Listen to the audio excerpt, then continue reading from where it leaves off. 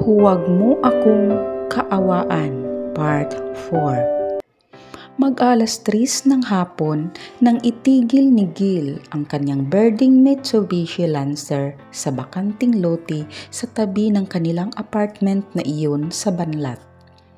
Pagkatok niya'y si Vida ang nagbukas ng pinto para sa kanya. Pinsang buo niya si Vida, isang BSE Code sa Centro Scholar University. Nang humiwalay na sa kanya si Jasmine at malipat na rin ng tirahan si Yuli na naging dahilan ng kanilang paghihiwalay. Siya ang naiwan sa apartment na iyon. Limang buwan matapos siyang iwan ni Jasmine, dumating ang kanyang tiya Marta. Nakababatang kapatid ng kanyang ama kasama si Vida na ang gusto'y sa Maynila magkulihiyo. Nakiusap ang mag-ina na sa apartment niya muna tumuloy kahit pansamantala pero siya na rin ang nagsabi na habang di pa sila nagkakasama muli ni Jasmine, gusto niyang naroon ang mag-ina para naman di siya gaanong malungkot kapag nasa bahay. Hindi siya pinatawad ni Jasmine hanggang matanggap siya sa isang overseas work. At hanggang ngayon, si Vida at ang kanyang tiya Marta ang tumatao sa apartment.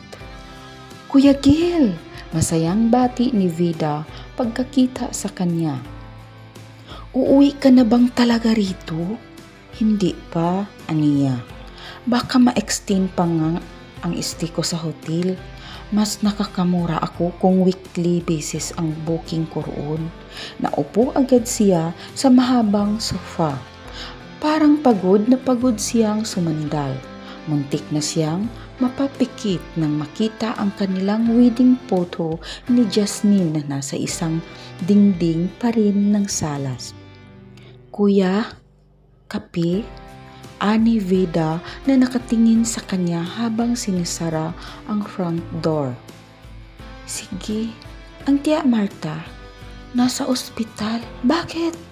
Dinadalaw si Yuli. Napakunot noo siya Si Yuli ay hindi kamag-anak ni Navida.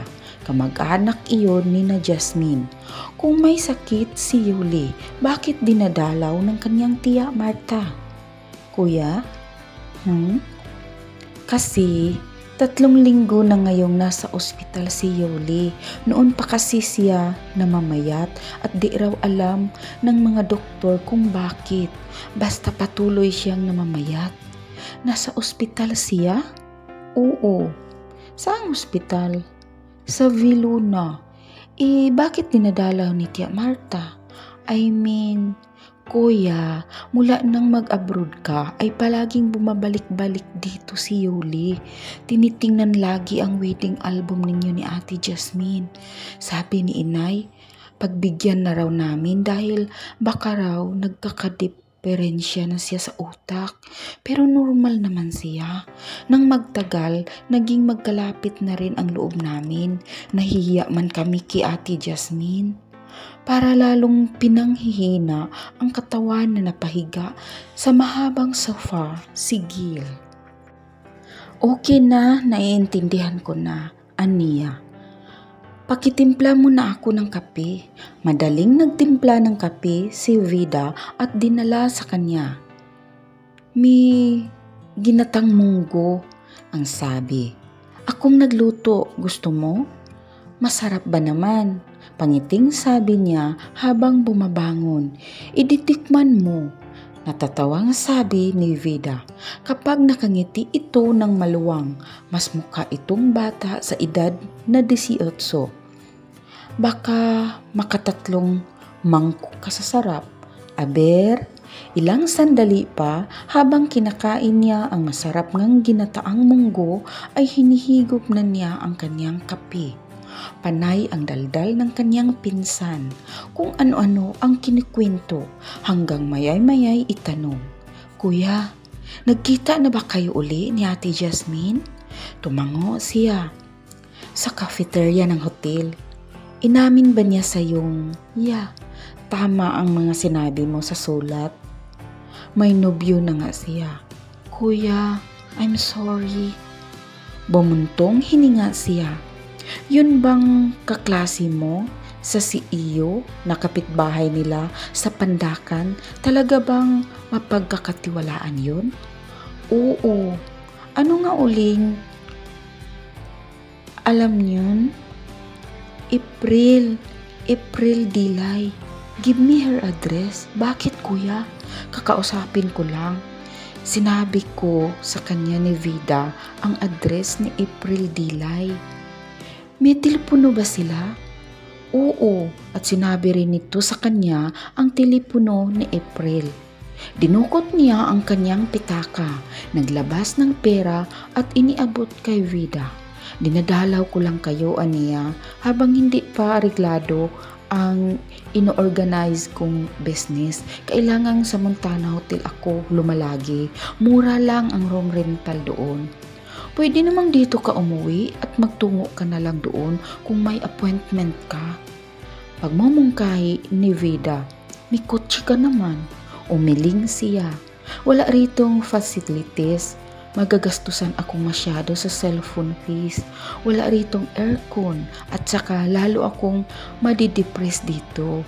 V, mga hanggang next week lang naman akong mag i roon. Palagay ko magpopo prosper ang negosyong gusto kong itayo. Di na siguro magtatagal magkakaroon ako ng isang permanent office. Kuya, hmm, Di mo man lang ba dadalawin si Yuli? Saglit siyang nag-isip. Pagkuway tumayo. At tumango. Yeah, bago ako magbalik sa hotel, daraan ako sa ospital. Alam mo, ilang bisis raw siyang tumawag kay Ate Jasmine. Talaga? Oo. Bakit daw? para mag-sorry, magpaliwanag. Pero pinagbabaksakan lang siya ni Ate Jasmine ng telepono. Napabuntong hininga siya. Dadalawin ko mamaya si Yoli. Magpahinga ka muna kuya. Sumulyap siya sa kanyang relo. Iidlip lang ako ng kalahating oras. Katukin mo ako ng quarter to five ha. Tumango si Vida. Tulog si Yuli at ang sabi ng nurse na nakatuka sa kanya ay makabubuting huwag na munang gisingin pagkat kailangan nito ng sapat na pahinga. Tumango si Gil sa nurse na nakausap niya sa quarters ng mga ito sa isang pasilyo ng ospital. Magtatagal pa ba siya rito, nurse? Tanong niya. Baka abutin siya ng ilang linggo depende sa magiging response sa medication anang nurse. Babalik na lang ako bukas ng hapon. Oo, sasabihin ko sa kanya, Mr. Rodrigo. Thanks. Pasado alas 6 na nang makabalik si Gil sa kwartong tinutuluyan niya sa Montana Hotel. Ang balak niya ay maligo lang, maghapunan ng dimsum at uminom sa Montana Cafe. Mula nang magkahiwalay sila ni Jasmine ay nahihirapan na siyang makatulog sa gabi nang di nakakainom. Pinakamababa na ang apat na buti ng beer.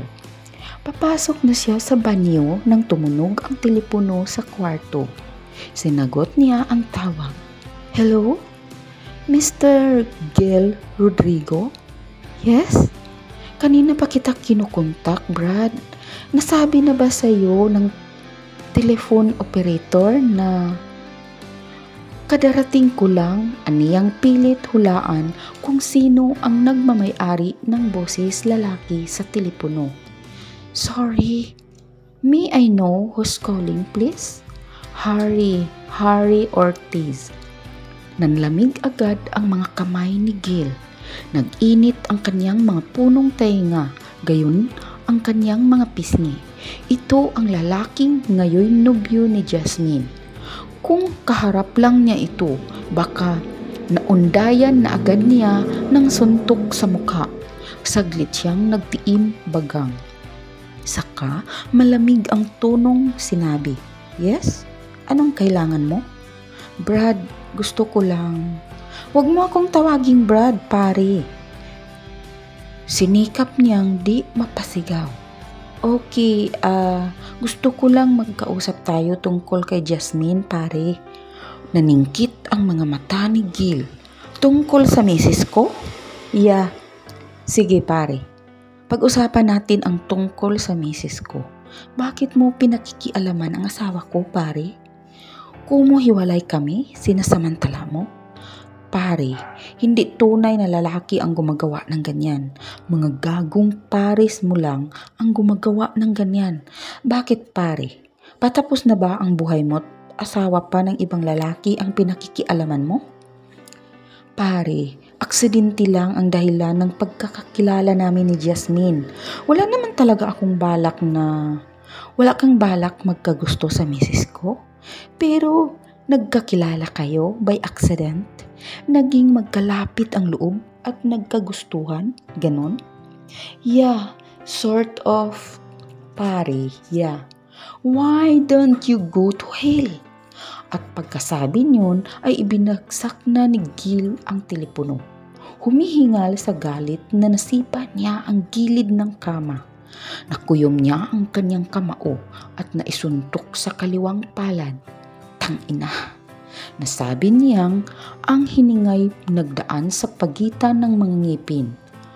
May lakas pa ng loob na kausapin ako ng gagong yun ah. Maya-maya'y parang nanlalambot na napaupo siya sa gilid ng kama. Nakapatong ang mga siko sa magkabilang hita. Unti-unti nang nag-init ang kanyang mga mata. Napapikit siya ng mariin. Natutop ng mga palad ang ulo. Ang inamok ka, Jasmine. Buong pagningipuspos niyang nasabi na parang daing na isang sugatang hayop. Tangina mo ka. Halos malagas ang kanyang mga ngipin sa muling pagtitiim bagang. Dumiin pa ang pagkakapikit ng kanyang mga mata. Ayaw niyang may mainit na likidong kumawala mula sa mga iyon. Mga kalabli, hintayin ang susunod na kabanata sa kwentong ito na magpapaantig sa inyong mga puso. At huwag kalimutang mag-like, share, comment sa ating video. At kung bago ka pa lang sa channel na ito, huwag kalimutang mag-subscribe at pakiclick ng bell para ma-notify kayo sa mga bago nating upload. At sa mga gustong magpa-shoutout, mag-iwan lamang kayo ng comment sa comment section. At sa mga gustong magpadala ng mga sariling kwento, pwede ninyo itong ipadala sa aking email linlad7 at gmail.com o di kaya sa aking FB Lovely ko. Maraming salamat sa inyong suporta at pakikinig hanggang sa muli. Ito ang inyong Ati Lovely. God bless and more power.